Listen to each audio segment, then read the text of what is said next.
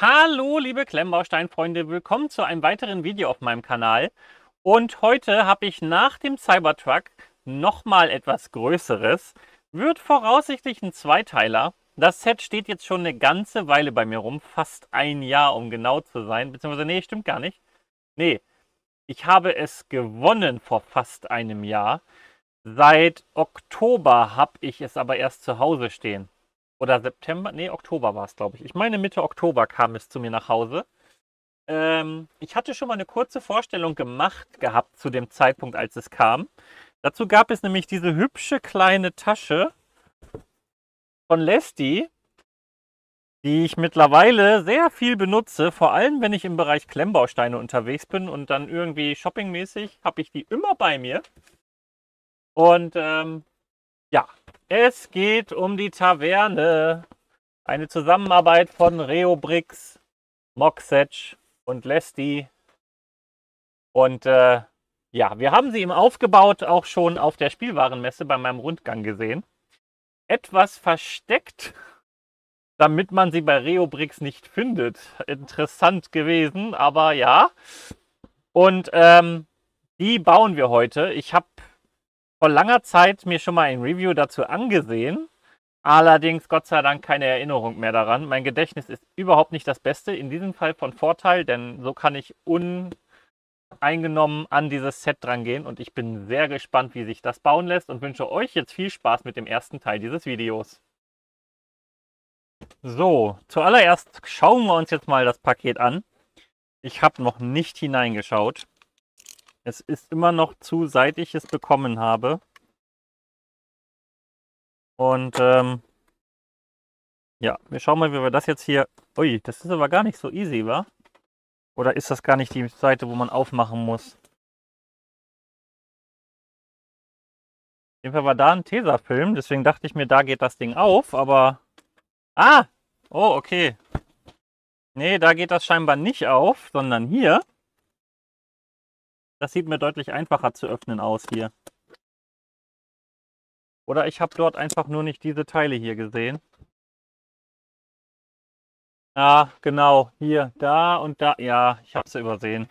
Egal, jetzt ist es von der Seite offen. Ist ja kein Problem. Oh, wir haben hier Innenkartons. Karton im Karton. Einmal B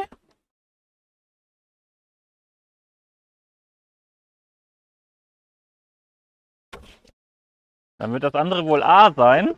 Und sprich A ist das, was wir dann heute quasi uns vornehmen werden. So, auch das ist wieder hier mit Tesafilm zu. Dann nehmen wir nochmal unser Cuttermesser.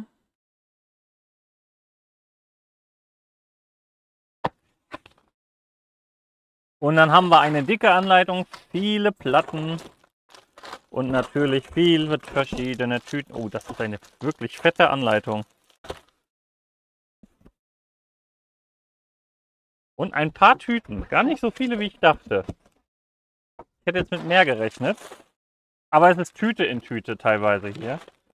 Also die einzelnen Tüten der einzelnen Bauabschnitte sind sortiert. Das heißt, wir haben hier die 1 mit den Tüten, die zur 1 gehören. Hier die 2 mit der Tüte, die zu den 2 gehört. Und hier die 3 mit allen Tüten, die zu den 3 gehört. Und Platten haben wir extra einige 16 x 16 Plates. Ne, zwei nur. Äh, dann haben wir hier noch 4 x 14, so wie es aussieht. 2, 4, 6, 8, 10, 12, 14, genau. Äh, eine 8 x 16 sehe ich hier. Von den 4 x 14 sind einige. Ja, schauen wir mal. Werfen wir kurz einen Blick in die Anleitung. Aber Bauschritt nummeriert ist schon mal sehr gut. Tatsächlich das erste Set, was ich egal von Lesti oder von Reobrix baue. Von Moxet sowieso. Also im Prinzip ist das hier eine Premiere auf meinem Kanal. Wir haben einen kleinen Stickerbogen. Oh, das ist, das ist weniger toll. Weil diese Holzplanken gibt es von so vielen mittlerweile in bedruckt. Das hätte man anders lösen können. Das ist nicht so toll. Also das ist, glaube ich, dann eher pure Faulheit, muss ich leider so sagen. Die Anleitung ist schön von der Farbgebung her, finde ich. Man muss so ein bisschen genauer gucken, denn alles, was neu gebaut wird, ist rot umrandet. Aber alles, was gebaut ist, ist nicht verblasst oder ausgegraut dargestellt, sondern ganz normal im gleichen Farbton. Dennoch kann man danach sehr gut bauen und hat dann auch halt immer noch alle Farben sichtbar. Das finde ich manchmal nicht verkehrt, denn selbst alle Farben sichtbar finde ich besser als ausgegraut. Verblasst dargestellt, das finde ich die allerbeste. Aber nach verblasst kommt direkt schon alle Farben sichtbar lassen, weil ausgegraut und dass man dann nicht mehr die Farben sieht, die es mal gewesen sind, das äh, finde ich absolut Katastrophe manchmal. Ja, wir haben hier schon die ersten Sticker. Das wird so ein kleiner Weinkeller, so wie es aussieht. Ja, wir lassen uns mal überraschen. Ist auf jeden Fall ordentlich was zu bauen. Am Ende haben wir eine Teilliste und hier haben wir das fertige Gebäude. Ja. Wir haben hier 306 Seiten mit... Oh, okay. Ich wollte jetzt gerade sagen 100 Bauabschritten, aber, äh, Bauschritten, aber das passt nicht. Hier sind wahrscheinlich nochmal Unterteilungen. Oh ja, das kann man gar nicht jetzt so wirklich sagen, wie viel das genau sind, weil wir haben hier 100 mit dem Bauschritt I, 109 mit dem Bauschritt H. Ich lasse euch jetzt einfach mal rechnen. 70 mit dem Bauschritt G, 154 mit dem Bauschritt F,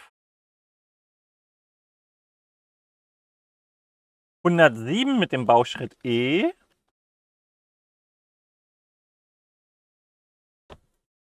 124 mit dem Bauschritt D,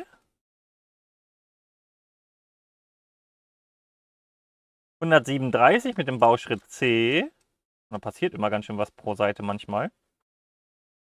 Immer manchmal. Hm, ich weiß, mein Deutsch ist perfekt. Einfach Katastrophe. Äh, 131 mit dem Bauschritt B. Und zu guter Letzt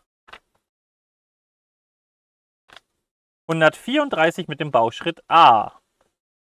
So, ihr habt jetzt alles zusammengerechnet oder auch nicht. Das hängt jetzt von euch ab.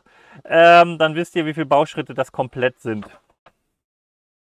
Bauabschnitte sind es jedenfalls drei. Ja, ich würde sagen, legen wir los. Ich bin gespannt. Vor allem Qualität, also Klemmkraft, Verarbeitung, aber auch wie es sich bauen lässt. Legen wir los. Wenn denn das Ding hier... Ah, da ist der Mauszeiger. Ja, ich habe drei Monitore. Da ist es schwer, manchmal den Mauszeiger zu finden.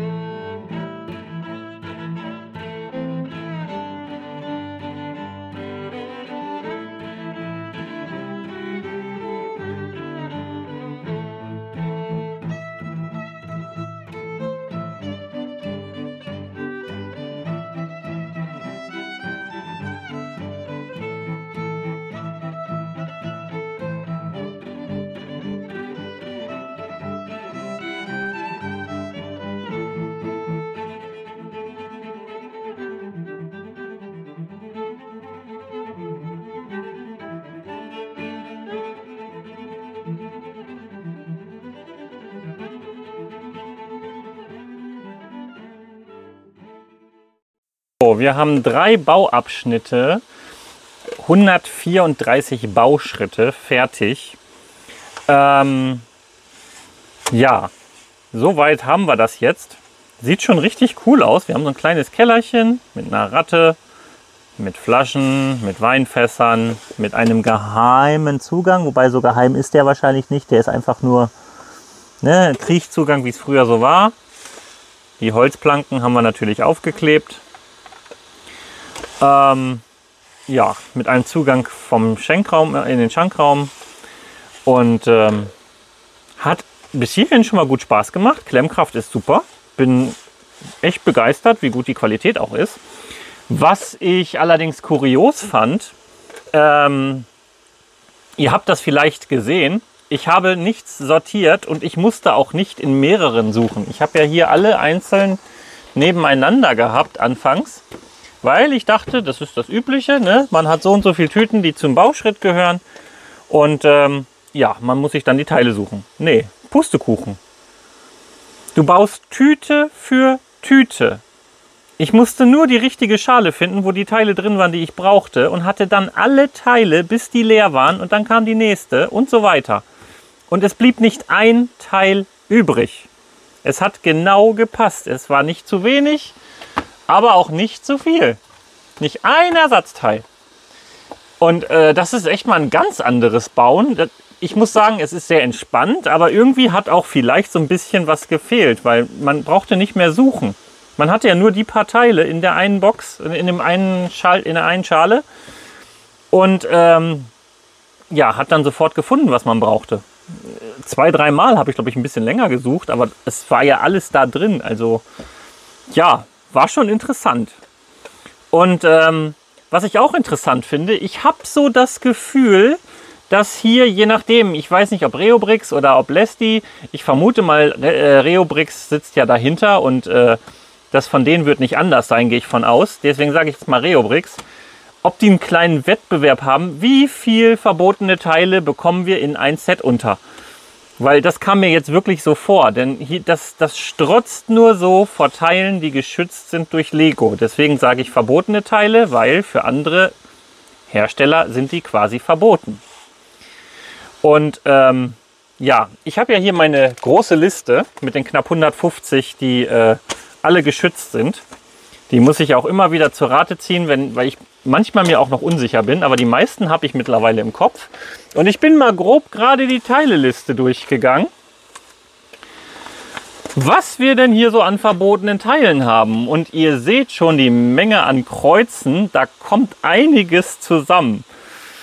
Wir haben, haltet euch fest, 170 verbotene Teile aus 14 verschiedenen Kategorien. Circa 150 verschiedene Kategorien gibt es, die, die geschützt sind. Bei Lego. Nicht bei Duplo, nur bei Lego. Äh, es kommt nochmal Duplo hinzu. Und ähm, ich glaube, es könnten sogar mittlerweile ein paar mehr sein, weil es ja jetzt irgendwie im Frühjahr nochmal eine Liste gegeben, eine Aktualisierung gegeben hat. Die nutze ich aber nicht, weil wir diese neuen Teile gar nicht benutzen, weil die keiner unserer Hersteller benutzt. Ähm, aber bis bis, sagen wir mal, Januar diesen Jahres gab es nur äh, circa 150 verschiedene. Und nach denen arbeiten wir ja auch. Und ja, ne, alleine 35 von diesen Wedge Plates verboten. Jumper Plates 2x2 verboten. Der Stein in 90 Grad verboten. Ähm, was haben wir denn noch? Äh, ja, die Slope hier, die Curved Slope 1x1, äh, 1x2, 1x2 verboten. Der geriffelte runde Stein verboten. Ähm, Fernglas verboten. Ihr hört viel verboten, ich weiß, aber es ist leider so. Diese Plate verboten. Der Bracket verboten, also der Brick, Brick Modified. Äh, dieser Brick Modified verboten. Ähm, die Einmal eins Roundplate mit Loch verboten. Äh, die hatten wir schon. Der Brick Arch verboten. Ähm, ich glaube, dann haben wir es auch beinahe alle. Das Laserschwert Stück, Handstück verboten. Ja. Ich glaube, das müssten sie. Ah ne, hier, der, äh, Bracket 1x2 ist auch verboten. Übrigens, ähm, davon auch der 2x2, nee, der, der 2x2 davon mit, mit hängend, also mit quasi der Kralle nach unten, der ist erlaubt. Mit nach oben ist verboten. Aber der ist hier nicht benutzt. Von daher habe ich den hier nicht mit anmarkern können müssen. Ähm, bei diesem hier muss man auch aufpassen. Hat der die Klammer so, ist der erlaubt. Hat er die Klammer so, ist der verboten. Also das muss man echt genau gucken teilweise, weil der eine Stein dann erlaubt ist, der andere nicht. Auch hier, davon der 1x1 ist erlaubt, der einmal, äh, der zweimal, der mit zwei nebeneinander, der ist verboten. Und der war, glaube ich, auch hier irgendwo drin, den übersehe ich nur, glaube ich, gerade. Aber ja, das ist halt hier gerade so, hatte ich so das Gefühl, der Wettbewerb, äh, wie viel verbotene Teile können wir in unsere Sets bringen, kam mir irgendwie gerade so vor.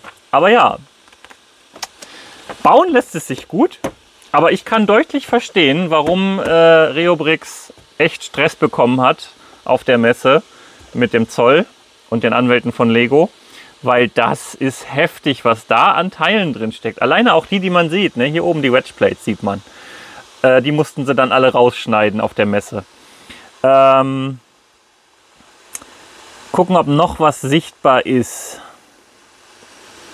Tatsächlich sehe ich jetzt gerade sonst nicht, doch die, die Arches hier, die Brick Arches. Die müssen raus. Ähm, aber dann ist, glaube ich, schon nicht so viel sichtbar. Aber ist ja auch egal. Es ist auf jeden Fall drin im Set und es darf nicht drin sein.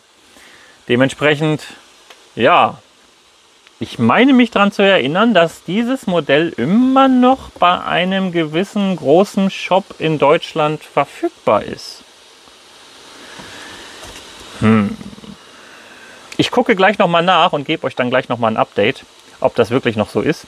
Aber wenn, hat das doch irgendwie schon ein bisschen Geschmäckle. Wie kann das sein? Wie, wieso haben die das und wieso verkaufen die das und dürfen das verkaufen, wenn sie es noch haben?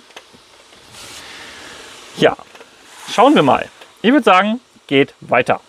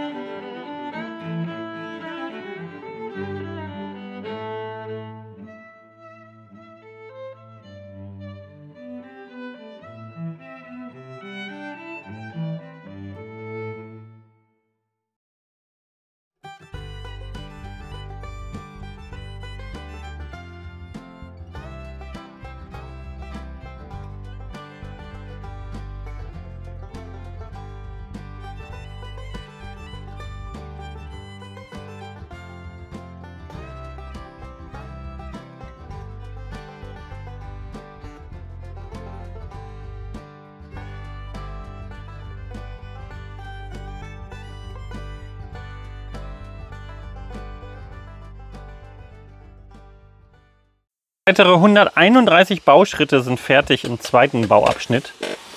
Und ähm, ja, das lässt sich hier wirklich gut bauen. Es geht auch rucki zucki von der Hand, weil man ja wirklich Tüte für Tüte baut. Und ähm, das macht riesen Spaß. Und es sieht schön detailliert aus. Wir haben hier Hühner, wir haben hier viel Vegetation. Vegetation. Wir haben hier Birken. Wir haben hier eine Box mit Stroh. Wir haben hier einen Unterstand, der ein bisschen heruntergekommen ist, wo ebenfalls Stroh drin ist. Wahrscheinlich kommen da die Pferde hinein. Also wirklich richtig schön gemacht und durchdacht. Und ähm, ja, das Einzige, was ich gerade sehe, was ich falsch gemacht habe, ist hier, ich mache nochmal den Baum weg. So schnell fällt man Bäume. ich habe das hier quasi ähm, ja, nach ganz unten geschoben. Das muss aber höher. Weil das ist im Prinzip eine kleine Birke, so wie es aussieht. Und die ist dementsprechend ja noch jung und unerfahren. ja, jetzt muss ich den einmal eins gerade hier nochmal auf die andere Seite nach unten schieben, wieder, dass ich das Ding wieder fest bekomme. Das geht allerdings nicht mit einer Hand. So, die junge Birke sitzt. Wir haben das soweit fertig. Und ähm, ich habe übrigens nachgeguckt, ja, es ist tatsächlich so, dieses Unternehmen, ich möchte keinen Namen nennen, jeder weiß, was ich meine wahrscheinlich, verkauft weiterhin dieses Set ohne irgendwelche Änderungen, ohne geschützte Teile entfernt zu haben, eins zu eins so weiter. Ist schon ein bisschen komisch, muss ich sagen. Eine Sache, die ich noch vergessen habe zu erwähnen, die ich richtig gut finde bei dieser Anleitung, bei allen Plates und Tiles außer einmal eins und einmal zwei, glaube ich, steht immer die Länge und Breite dabei. Das finde ich super. Selbst bei den Pins wird immer einzeln mit aufgeführt. Ähm, genau, bei einmal zwei nicht, aber bei einmal drei, glaube ich, ist es schon der Fall. Ich gucke mal gerade, ob ich was sehe. Einmal vier auf jeden Fall. Aber einmal drei war, glaube ich, auch. Wo hatten wir denn hier einmal drei? Wir hatten doch hier auch einmal drei, das weiß ich. Bin nur gerade zu blind.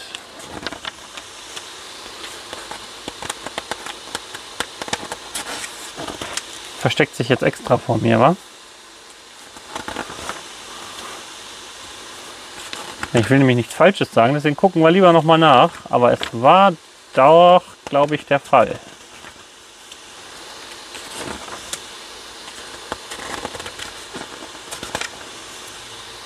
Sind recht dicke Seiten. Und trotzdem kriege ich die mit meinen leichtfettigen Fingern gerade nur schwer geblättert. Hier, 1x3 ist genau. Bei 1x3 wird es noch schon mit angezeigt. Also das ist wirklich eine toll gemachte Anleitung. Und da man Tüte für Tüte baut, geht das so leicht, locker, flockig von der Hand. Das macht riesen Spaß. Und ähm, ja, ich finde das Set echt cool. Abgesehen davon, dass es verbotene Teile enthält, echt cool. Ja, ich würde sagen, wir machen weiter mit dem dritten Bauabschnitt. Für euch geht das jetzt hier sofort weiter. Für mich ist hier jetzt allerdings ein Cut und ich mache beim nächsten Mal weiter. Aber ihr seht jetzt hier sofort den Anschluss. Viel Spaß, weiter geht's.